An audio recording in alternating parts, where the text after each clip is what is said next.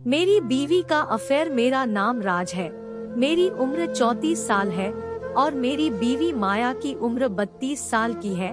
पिछले कुछ दिनों से हमारी ज़िंदगी बहुत नॉर्मल चल रही थी, खास करके ऑफ़िस के काम में बिज़ी होने के कारण बीवी को ज़्यादा वक्त देना मुमकिन नहीं हो पा रहा था और इसी के चलते बीवी की भी शिकायतें चलती रहती थी और बीवी उससे भी नाराज़ रहती थी, बस वो बोलती नहीं थी।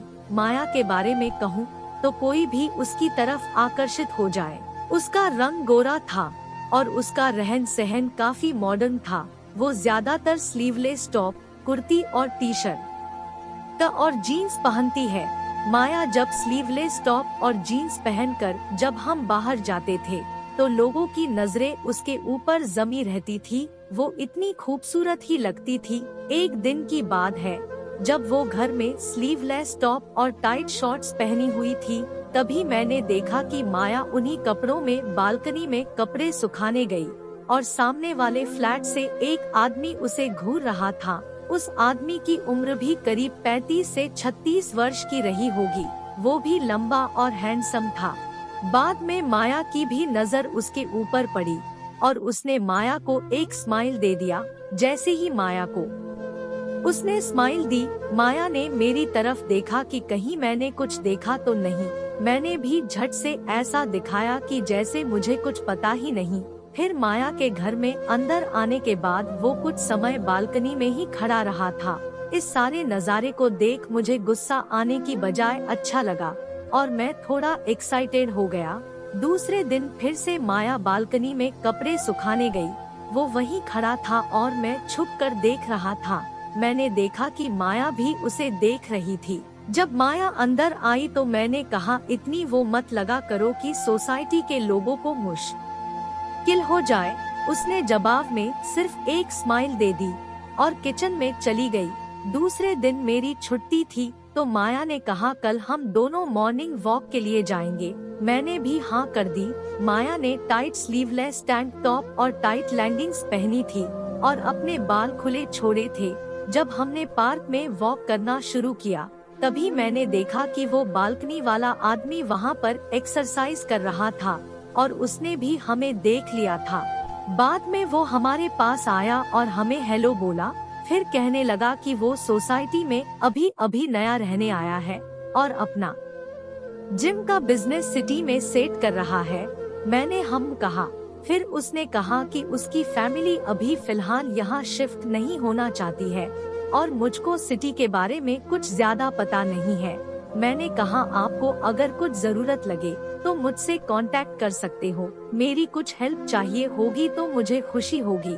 उससे बात करते टाइम मैंने देखा कि माया भी काफ़ी खुश और एक्साइटेड लग रही थी। फिर जब मैंने उसे माया से इंट्रोड्यूस कराया तो उसने माया से हैंडशेक करके हेलो बोला। वो उसे काफ़ी वो नज़रों से देख रहा था। उसने कहा, क्यों ना?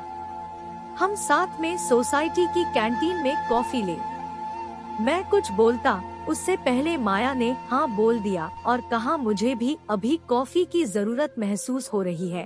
अब वो दोनों मुस्कुराने लगे और हम कैंटीन की तरफ़ बढ़ने लगे। उसने माया से कहा, प्लीज़ आगे आइए ना। बाद में उसे महसूस हुआ कि मैं साथ ही हूँ। तो हम दोनों सामान्य बातें करते हुए चलने लगे। कैंटीन में हमारी सामान्य बातचीत हुई। फिर उसने माया को देखकर कहा, आप हॉलिडे के दिन वॉक पर आए हो। मतलब आप काफ़ी हेल्थ कॉन्शियस हो। माया ने बस एक स्माइल दी और उसे देखते हुए कहा, आप भी हेल्थ कॉन्शियस लगते हो। उसने कहा, मैं जिम के ही बिज़नेस में हूँ और अगर आपको मुझसे कुछ हेल्प चाहिए होगी तो आप ज़रूर बताना। माया ने कहा हाँ मुझे अच्छा लगेगा अगर आप मुझसे कुछ हेल्थ टिप शेयर करें। इस बात के चलते उसने माया से उसका नंबर मांग लिया। चूँकि हम लोग मॉडर्न ख्यालात वाली फैमिली से हैं, तो नंबर शेयर करना आम बात है। लेकिन जिस तरह से माया और वो अजय एक्साइटेड थे वो देखकर मैं भी थोड़ा एक्साइटेड हो गया था। फिर हम तीनों साथ में घर आए। और माया ने मेरी मज़ा लेते हुए कहा, अजय जी, काफ़ी टाल और हैंडसम है। मैंने भी कहा, वो तुम्हारी फिगर से काफ़ी इम्प्रेस हुए थे, जिस तरह से तुम्हें घूर रहे थे। इस पर माया ने बस एक स्माइल दे दी। घर आने के बाद देखा तो अजय बालकनी में खड़ा था और हमारे घर की तरफ़ देख रहा था। तभी माया की भी नज़र वहीं गई और मैंने उस बात को अनदेखा कर दिया। फिर माया और अजय ने स्माइल एक्सचेंज किया। मैंने माया से कहा, माया जी, अजय जी की काफ़ी तरफदारी हो रही है। इस पर उसने कहा, आप तो कुछ भी बोल देते हो। माया की इस बात पर मैंने कुछ नहीं कहा। फिर उसने कहा, एक दिन हम उन्हें कॉफ़ी पर बुलाएँ क्या घर पर? ताकि मुझे भी हेल्थ टिप्स उनसे मिल सके। मैंने भी तुरंत हाँ कर दी। मुझे समझ आ गया कि माया अजय को देखकर वो हो चुकी है। मैंने कहा, अजय जी को एक दो दिन में कॉफ़ी के लिए बुला लूँ। इस पर उसने तुरंत हाँ बोल दी। अगले ही पल मैंने अपनी बीवी माया के लिए अजय को फाइनल कर लिया था। मैंने अब माया को कह दिया कि अजय को इनवाइट कर ले। माया खुश हो गई और उसने मेरे सामने ही अजय को घर आने का न्योता दे दिया। शाम को छह बजे अजय को आना था। मैंने पहले से ही अपने एक स्टाफ को बोल दिया था कि वो मुझे ठीक साढ़े छह बजे फ़ोन करके किसी अर्जेंट काम के लिए फ़ोन कर दे। सब कुछ मेरे अनुसार ही हो रहा था। घर के चारों कैमरे मेरे मोबाइल पर दिखने लगे थे। शाम को छह बजे अजय मेरे घर आ गया।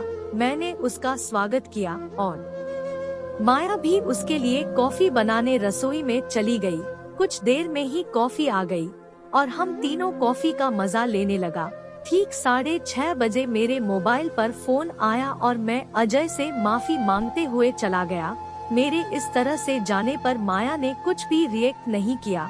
मैंने बाहर आकर अपनी कार को ले जाकर एक सुनसान जगह पर लगा दिया और मोबाइल में कैमरे देखने लगा।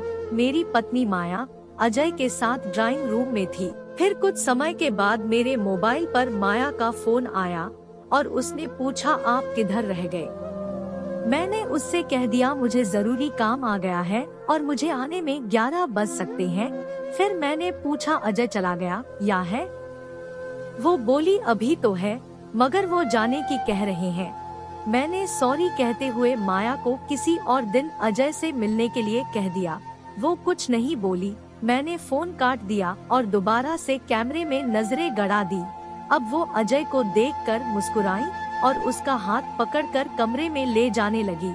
आधे घंटे बाद वो सब हो गया, जिसे मैं कैमरे में देख रहा था, तभी मैंने माया को फ़ोन किया, मुझे आज रात घर आना संभव नहीं हो पाएगा। मैं कल सुबह ही घर आ पाऊँगा। माया ने ओके कहकर फ़ोन काट दिया। उसने एक बार भी ये नहीं पूछा कि क्या कारण है, मैं सब समझ गया था कि माया क्यों जल्दी से फ़ोन काट दी थी, लेकिन मेरे पास तो माया के खिलाफ बहुत ही अच्छा सबूत मिल चुका था, जिसका इस्तेमाल करके मैं आसानी से उससे छुटकारा प्राप्त कर सकता था। लेकिन दोस्तों, आगे की कहानी आपको अगले पार्ट में मिलेगा।